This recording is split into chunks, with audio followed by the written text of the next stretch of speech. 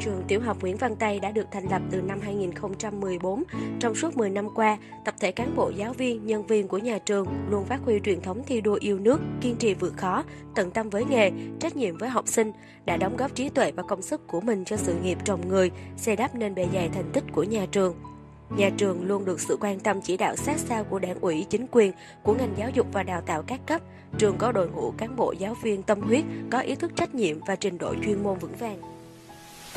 Hiện nay, trường có 63 lớp học với gần 2.900 học sinh. Tổng số cán bộ, giáo viên, nhân viên là 107 người. Trong những năm học vừa qua, nhà trường đã triển khai đầy đủ, có chất lượng các hoạt động của ngành, nhiệt tình tham gia các hoạt động xã hội. Với truyền thống xây dựng và phát triển, nhiều năm liền, trường đạt thành tích trường tiên tiến xuất sắc. Công đoàn và chi đoàn nhà trường luôn là những đoàn thể vững mạnh, chi đoàn thanh niên có ý thức trách nhiệm cao trong công việc, quyết tâm thi đua thầy dạy tốt, trò học tốt, thực hiện tốt các phong trào, đẩy mạnh ứng dụng công nghệ thông tin và các phương pháp dạy học hiện đại vào các hoạt động quản lý và dạy học, phấn đấu xây dựng một trường học vững mạnh và phát triển. Sinh thời, bác Hồ luôn căn dặn thanh niên, thanh niên sẽ làm chủ nước nhà, phải học tập mãi, tiến bộ mãi mới thật là thanh niên. Bác luôn nhấn mạnh đến việc học tập, vấn đề cốt lõi để các thế hệ thanh niên trang bị cho mình sự hiểu biết, vốn kiến thức là điều kiện tiên quyết để đảm bảo cho các thế hệ thanh niên có thể vươn mình ra biển lớn, lấy sức trẻ làm giàu cho tổ quốc quê hương. Thấm nhuần lời dạy của bác, tại trường tiểu học Nguyễn Văn Tây, ngày ngày đoàn viên giáo viên chúng tôi vẫn luôn phấn đấu hết mình, tự học, tự rèn luyện để có thể đem sức trẻ làm giàu đẹp hơn cho quê hương đất nước, nhất là trong thời đại số hiện nay. Năm học 2023-2024, tuổi trẻ trường tiểu học Nguyễn Văn Tây tiếp tục đẩy mạnh cuộc vận động, học tập và làm theo tư tưởng đạo đức phong cách Hồ Chí Minh, hưởng ứng và tích cực thực hiện phong trào nâng cao chất lượng giáo dục. Mỗi thầy cô giáo là một tấm gương đạo đức tự học và sáng tạo. Căn cứ chương trình công tác năm 2024 dưới sự chỉ đạo của ban giám hiệu nhà trường và của đoàn phường Bình Chiểu, công tác giáo dục chính trị, tư tưởng, đạo đức, lối sống, giáo dục truyền thống cách mạng vẻ vang của đảng, của đoàn cho đoàn viên được đẩy mạnh. Cụ thể, chi đoàn trường tiểu học Nguyễn Văn Tây tham gia hội thi tìm hiểu lịch sử đảng bộ phường. Mời cựu chiến binh về ôn lại lịch sử ngày thành lập quân đội nhân dân Việt Nam 22 tháng 12.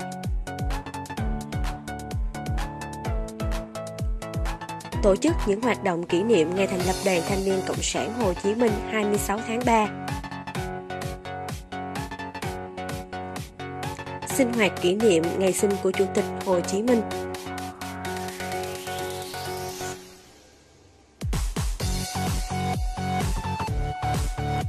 Ngoài ra, chi đoàn còn có nhiều cố gắng trong việc xây dựng tổ chức, đổi mới nội dung, hình thức hoạt động sinh hoạt chủ điểm, từng bước đáp ứng yêu cầu của đoàn viên và thanh niên trong tình hình mới.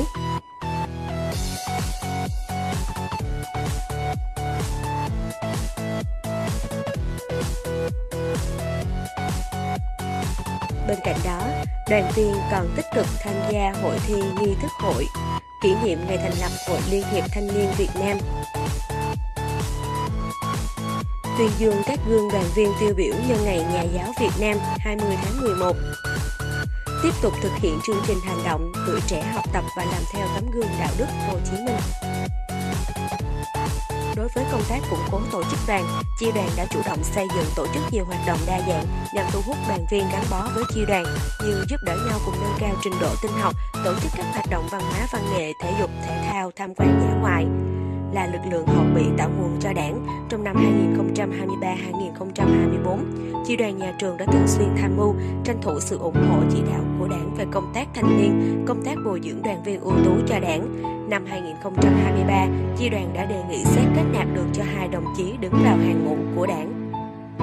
Bên cạnh đó, chi đoàn còn chăm lo xây dựng phong trào đội ngày càng vững mạnh, đào tạo bồi dưỡng nhân tố cho tổ chức đoàn, xem đó là một trong những nhiệm vụ trọng tâm. Ban chấp hành chi đoàn phối hợp